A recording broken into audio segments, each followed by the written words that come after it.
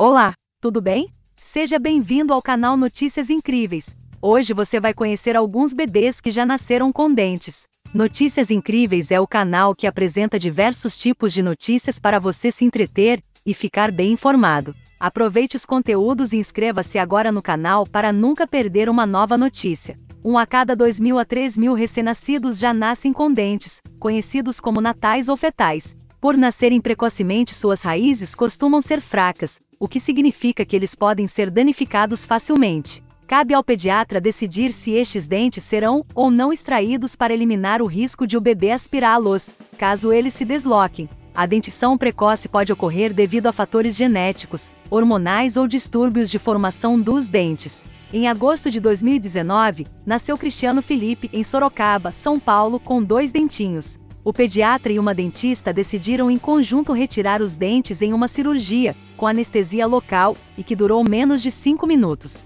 Em novembro de 2021 nasceu em Pouso Redondo, no Alto Vale do Itajaí, em Santa Catarina, Lara Emanuele. Ela nasceu com três dentes, um superior e dois inferiores. Após seis meses, os dentes ainda estão em perfeitas condições. Em abril de 2022 nasceu em Governador Valadares a menina Emanuele, com dois dentinhos. Em maio de 2022 nasceu o menino Theo em Santa Terezinha, Santa Catarina. Aos sete dias de vida foi realizada a primeira extração, pois o dentinho causava desconforto e dificuldades para o bebê mamar. Deixe nos comentários se você conhece algum bebê que já nasceu com dentinhos.